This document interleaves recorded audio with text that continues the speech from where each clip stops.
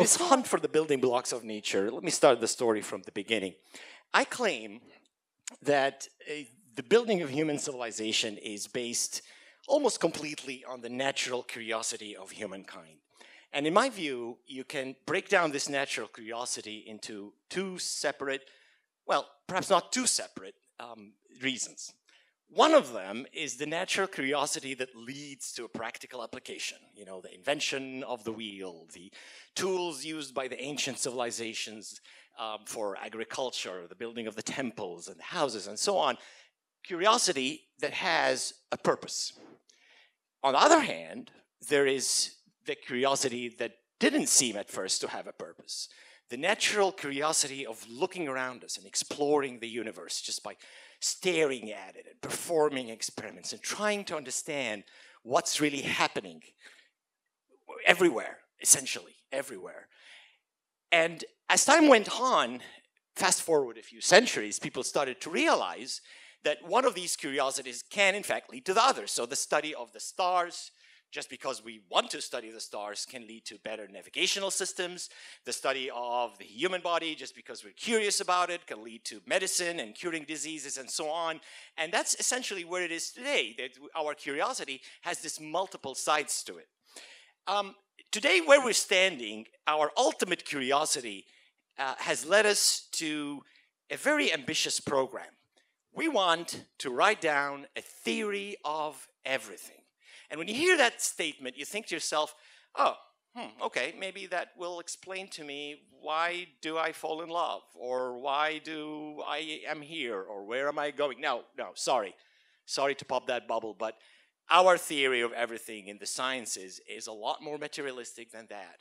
It is a theory that, well, it might not give you the answer to the questions of life and everything, but might give you a hint about the universe. It's a theory, or should be a theory, that studies things like the components of matter. What is matter made of? What are the seeds made of? What are you made of? What is the universe made of? On its most fundamental scales. In addition to this, we also study the forces of nature that are related to this matter. And when I say forces of nature, I'm sorry, I don't necessarily mean the wind and the earthquakes or or your mother in law. No, I mean something more fundamental than this. I mean the forces of nature that drive everything on the smallest possible scale. And you already know at least two of them. You've heard of gravity, I hope. Well, it's holding you to your seat. You've heard of electromagnetism, which is, well, I don't know, applications all around us. You may not have heard of the other two, though uh, because both of them work only inside the nuclei of atoms. They are called, perhaps non-imaginatively, the strong nuclear force and the weak nuclear force. One is stronger than the other, obviously, duh.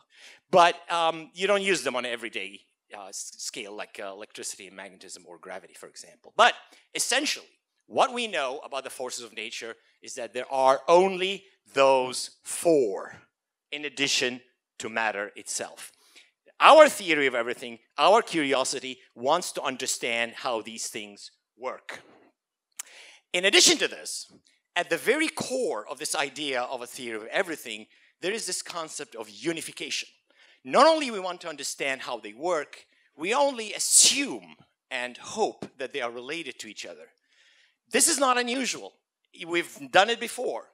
In the early 19th century, people studied electrical forces separately from the people who studied magnetic forces. And then in the mid 19th century, somebody came along and said, oh, wait, wait, wait, there are in fact the same.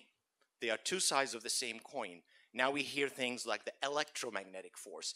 We realize today that you cannot have electrical forces without magnetic forces. This is called unification, and we want to understand this. We also assume that eventually this model that we're trying to understand or trying to hunt down for may or may not have some applications. Okay, I, I, tell you a story.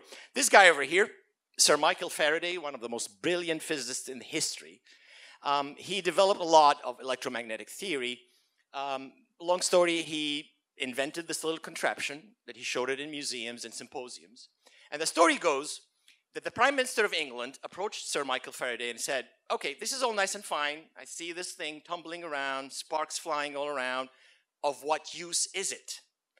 And the story is that Michael Faraday responded, Well, of what use is a newborn baby? You don't know until you wait. He also mentioned, Mr. Prime Minister, I don't know what it's going to be used for, but I have a feeling that you will be taxing it in the future.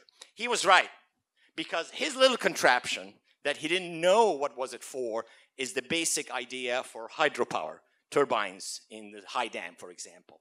So you may not know what application your theory is going to have, but eventually it almost always has had an application. So let's go back to this. Matter. What is matter made of? High school physics. Electrons. Inside, oh, deeper than atoms. Electrons, neutrons, protons. These in turn are made of quarks. And there are others you may not have heard of. The muon, the tauon, the, and so on and so forth. There are several types of neutrinos. These constitute the atoms, molecules, crystals, and then you, me, and everything in the universe. Surprise!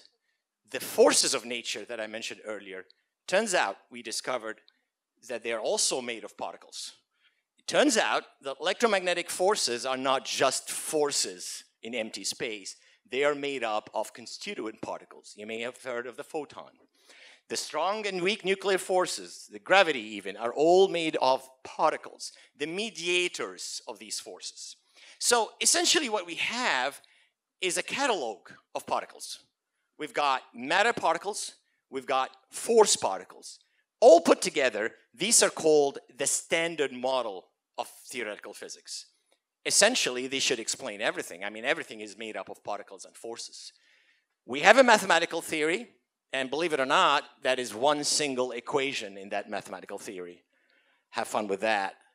Um, we assume we understand it, but we don't understand yet how they're related to each other. We don't have the unification that we're trying to find. We don't know why there must be an electron. We don't know why there must be a photon. We just know that they're there and we can describe them. Experimentally, yes, we do that all the time physicists, scientists.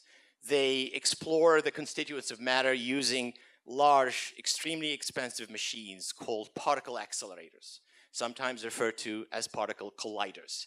This thing, which is in Geneva, Switzerland, um, cost what, 20 billion euros to build, and it's got a, an electric bill every year as much as a city, for example. It's a very expensive piece of equipment. Um, does it have practical applications? Yes. A lot of the engineering techniques that were developed there um, are being used in other applications. A very famous example is the WWW protocol that you and I use daily. That was developed as a side product of one of these machines. How do these machines work? Imagine the following situation.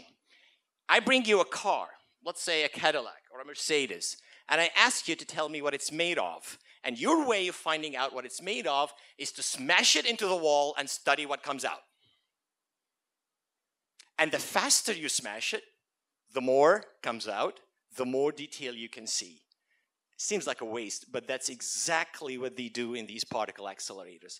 They smash atoms together, and the faster they smash them together, the more debris comes out, the more detailed we have an understanding. Unfortunately, that's the only way to deal with these things that we don't even see with the naked eye.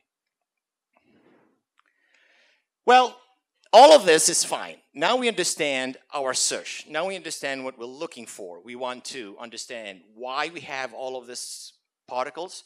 We want to understand if they are related to each other. Unification. That's the purpose of the theory of everything. Do we have it? Do we have a theory of everything?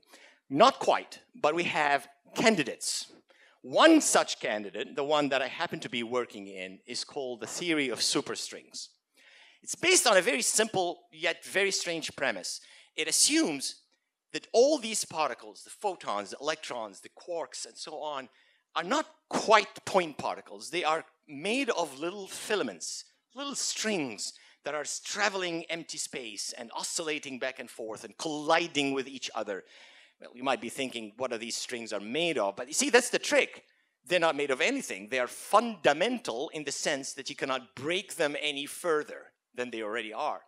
This weird idea has led to strange conclusions.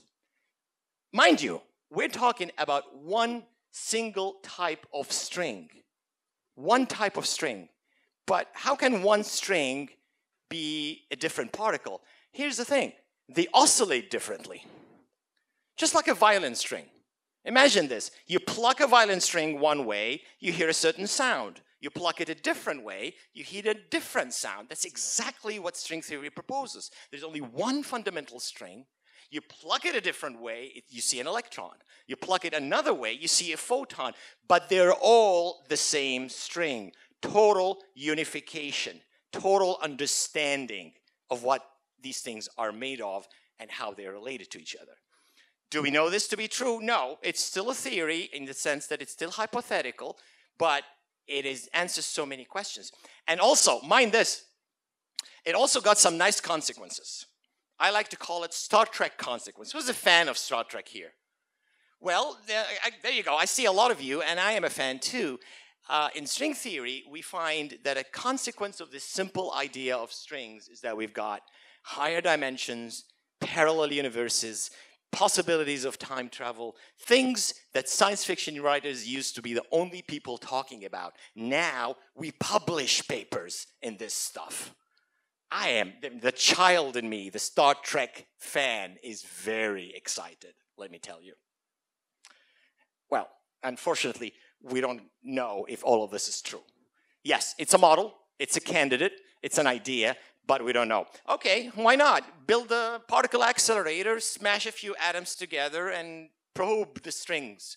Find out if the strings exist. Well, the thing is, the deeper you need to probe into matter, the bigger the accelerator must be, and the more expensive it is. And somebody calculated that in order to have a particle accelerator that is big enough to understand or to see these strings, it's got to be the size of the entire galaxy they are that small. They are teeny.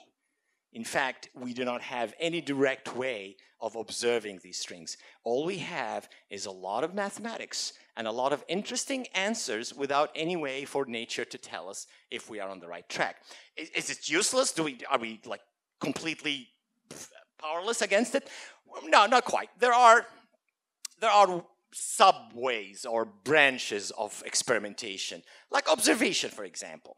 Um, instead of smashing things in the lab, let's watch a natural occurrence, a natural disaster, something that explodes, the collision of two black holes, something that is large enough to give us clues about this. Haven't found it yet, but we're still looking. recently, something called gravitational waves was discovered that opened up a whole new field in astronomy. It's called gravitational wave astronomy. Look it up, it's, it's a fun thing, uh, fun story.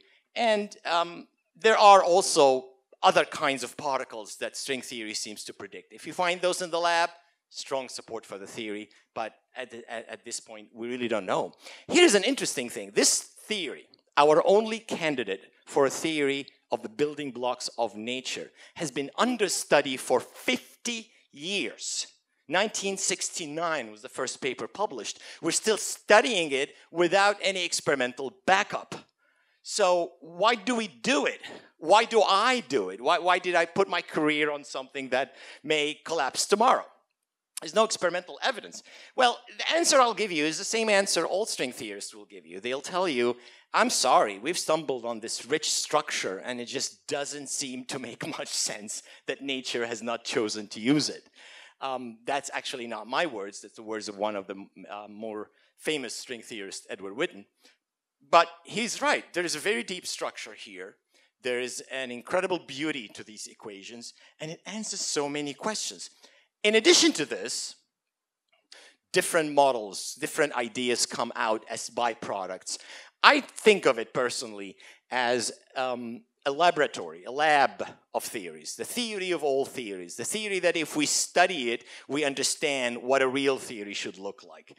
Um, I kind of try to think that maybe in the future we'll have departments of mathematics, departments of physics, and then departments of string theory where those string theorists are doing neither. They're not doing physics and they're not doing mathematics, they're doing something else entirely. It is that rich and it's that deep, and I don't think it will ever be thrown out, even if we discover that it doesn't work. Uh, in the meantime, the mathematical techniques that we develop um, lead to technologies. Yes, that still works.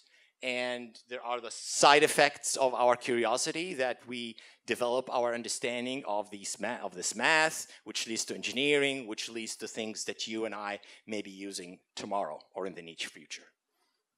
Thank you very much.